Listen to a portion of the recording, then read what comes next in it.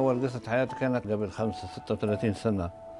كنت في أحد السوق عندنا في خانونس عجبتني قطع نحاس يعني زي قطع نحاس حلوة. أخذتها حطيتها عندي في البيت.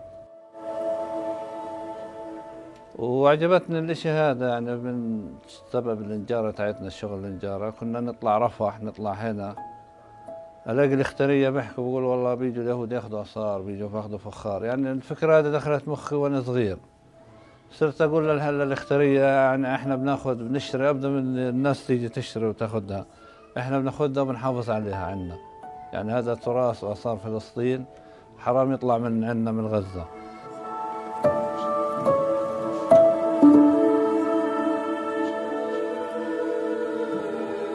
يعني تراثنا تراث الفلسطيني والآثار الفلسطينية هي هوية هوية فلسطينية طبعا.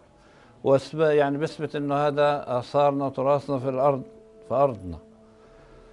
يعني اليهود كانوا يأخذوها ويقولوا هذا إلنا آثارنا وتراثنا يلموها يعني. أنا كنت ألم وأحط عند خبي. يعني أنت شايف المتحف هذا كله كنت ألم بالقطع أروح رفح أروح غزة أروح القرارة.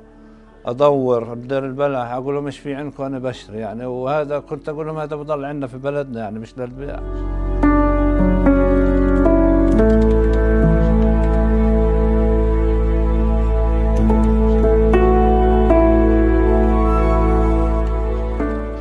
يعني إحنا حاولنا نجمع كل العصور اللي كانت عندنا في فلسطين من اليونان من البيزنطي من الروماني حتى من الأتراك العثمانيين المماليك يعني كل الحضارات اللي كانت عندنا في فلسطين حاولنا نجمعها عندنا.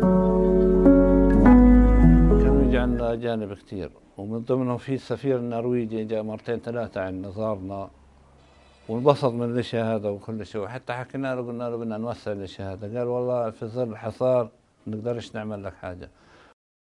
سبب الحصار هذا كله انقطع علينا.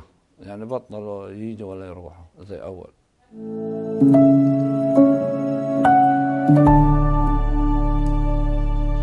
إحنا رسالتنا للعالم يبقى عندنا متحف قومي إن شاء الله.